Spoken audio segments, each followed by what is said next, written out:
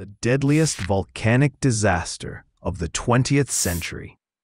Mount Pelée, the name meaning bald in French, was a 4,500 foot mountain on the north side of the Caribbean island of Martinique.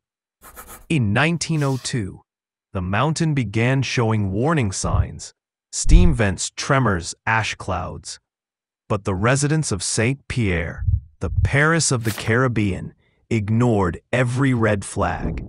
Some even traveled to the city to witness the spectacle. They believed they'd have time to escape if lava appeared. They were tragically wrong. On May 7th, on the nearby island of St. Vincent, Mount Soufriere erupted, killing more than 1,500 people. At the same time, activity on Mount Pelée increased. On May 8th, a 3,000 degree gas cloud erupted from the mountain. By morning, a boiling ash avalanche traveling 300 miles per hour obliterated the entire city. An estimated 30,000 people died instantly. Among the entire population, only two were said to have survived.